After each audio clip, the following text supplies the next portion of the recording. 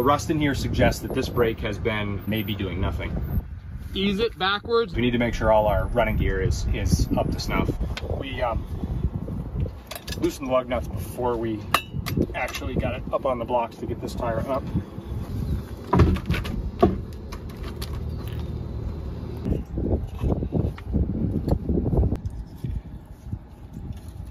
So I'm going to start by bending this cotter pin back that keeps the castle nut from spinning. And I've got a hook tool to pull it out.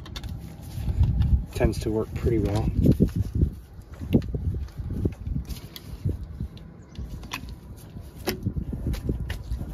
Removing the castle nut, so called because it looks like the top of a castle. It's a little trouble getting this washer loose.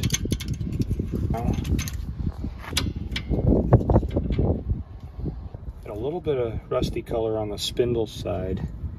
We'll see that better in just a second.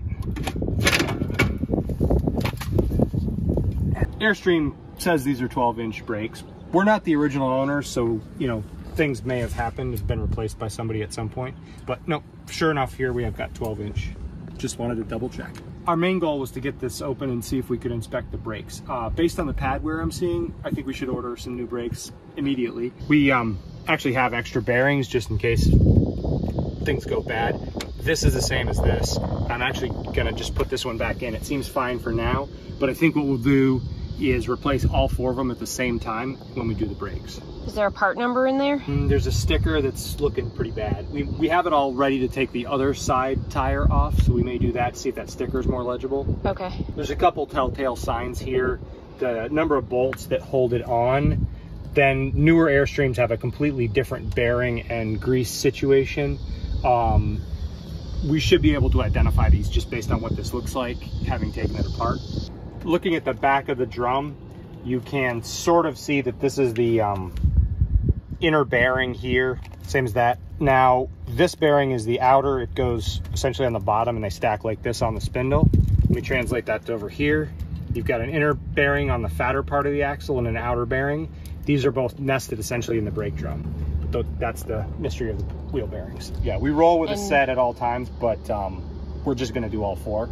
Okay pulling off the um, curbside drum now. I did talk to somebody, at an Airstream dealer, with my concerns, and they said that um, it actually doesn't sound like the brakes are as severely worn as I was thinking. The pads on these trailer brakes actually start out pretty thin. Off comes this drum. Now's the moment of truth.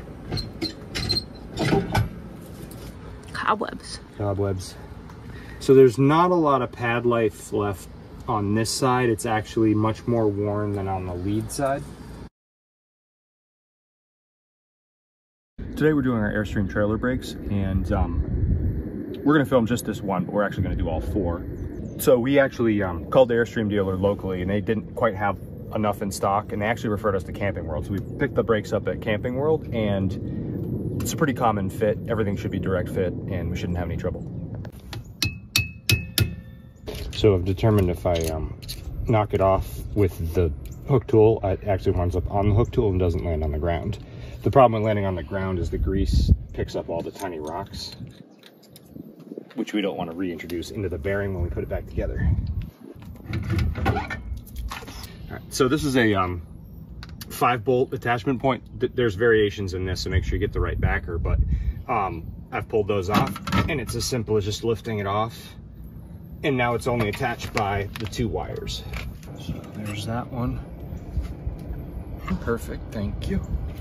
So these are all mounted on a backer plate ready to go. All you have to do is connect the wires and bolt it on. I'm just stripping this wire a little bit longer. Just twist the wires together and then you put on the wire nut and then you tape it. The main thing I'm trying to do is keep the brake dust that's settled here off of the um, bearing threads. surfaces. The threads? Off the, yeah. Well, everything from the threads down to where the bearings sit um, the abrasive nature of the brakes on the bearing surfaces is not good. I've cleaned off the grease here so that I can look at the spindle. What I don't want to see is any kind of scratching, deep scratching, gouging, because that means something has gone wrong at some point and that type of uh, damage will lead to failure as it continues to spin. I've got the wire connections taped up and I'm gonna lift this on And now the backer's in place and slid onto the studs.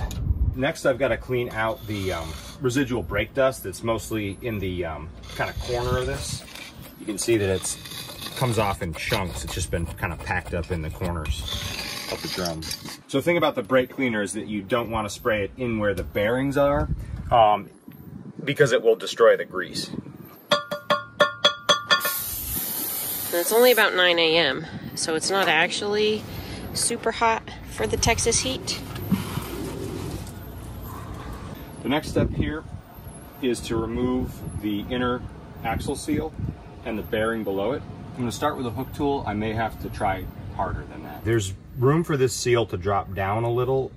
I'm really trying to get it up, but either way that it starts to break loose, we'll start it moving and then I should be able to lift it.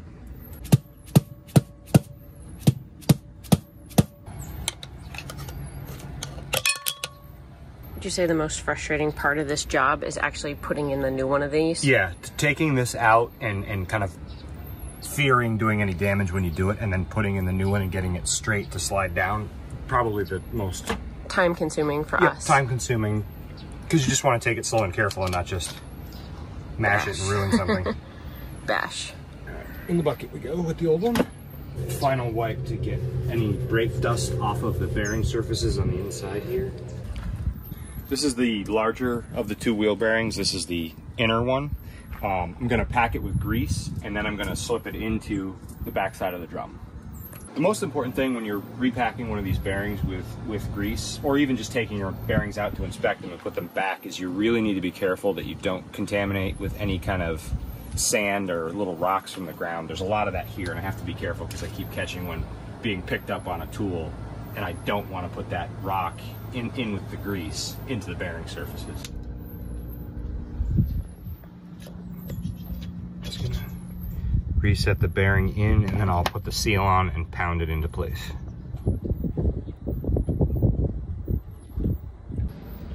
I would say this is the most frustrating part of this, is just getting this seal to start straight. It wants to just rock sideways and then it's essentially diagonal and doesn't fit in the hole. Rocks up, See how that start again.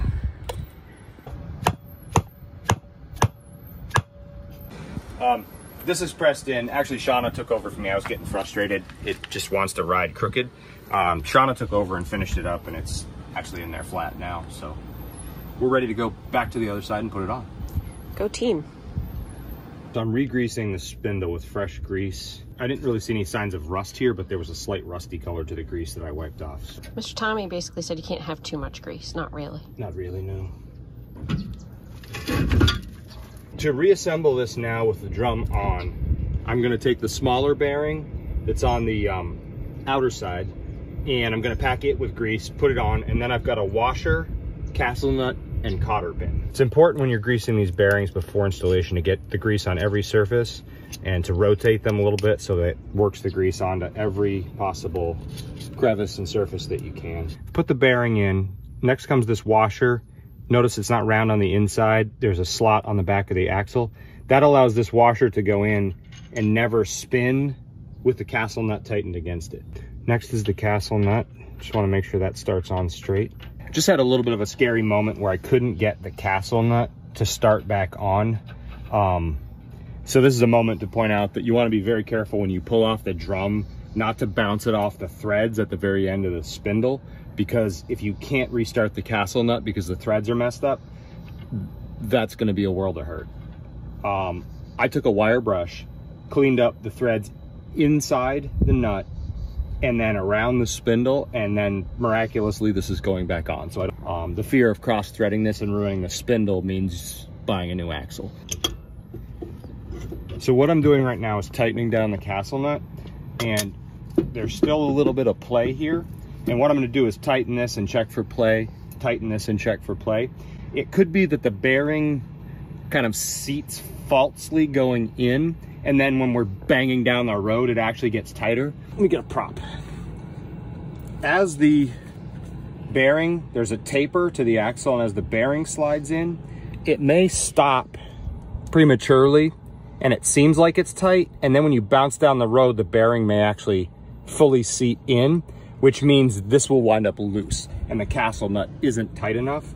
So it's important to tighten the castle nut, check for any play here, tighten the castle nut. You're gonna tighten it and then eventually, when it seems like everything's tight, the drum still spins easily, you're gonna back off the castle nut just enough to be able to slide the cotter pin through. I'm pretty comfortable with how tight this is. And then I'm pretty close to the cotter pinhole, so I'm really only gonna have to go back very slightly and slide the cotter pin through. All right. Now you're ready for a tire. Let's go to the other side. One of the good things about a double axle trailer is we can use our leveling blocks to get one axle just high enough to get this tire off the ground and pull it off. We only had a half inch of clearance, but it's really all we needed to take off this tire. Which brings me to another point. This is a brand new tire, and thanks to one of our campground neighbors, we paid for our tires over at Discount Tire. So thank you to our campground neighbor, Tommy. He's um, he's awesome. He's been giving us advice as we're dealing with the brakes if I got questions and whatnot, but he was also willing to take one axle's worth of tires to Discount Tire, sit there and wait for him to mount them up and bring them back. So now we've got this axle done, brakes and tires. We're working on this one. He's away right now getting the um, new tires for this axle. Yeah, we meet the most awesome people on the road. Yeah, thank you again to Tommy. Because we have the truck hooked up to the trailer when we're only on one axle, we can't drive away to get the new tires. So he was willing to take the tires and do all that work, do the waiting. And um, also thank you to Artie. She was awesome giving us a lot of information on some work camping opportunities that we may um, we may follow, follow through on. So so thank you there too.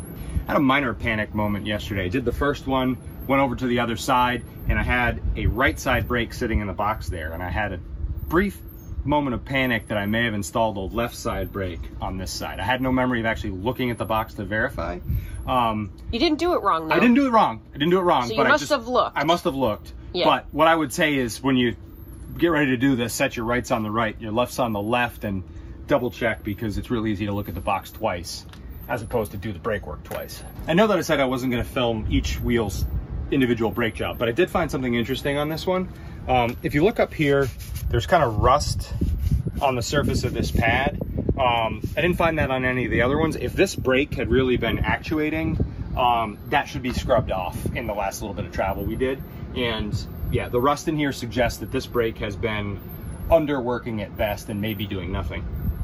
So that's kind of the point of why we're doing this. We need to make sure all our running gear is is up to snuff. Um, I don't see anything wrong with this drum, so I think if we replace the backer, make sure the electrical connections are good, we can individually inspect all these brakes to make sure each one of them is working and adjusted correctly before we get back on the road.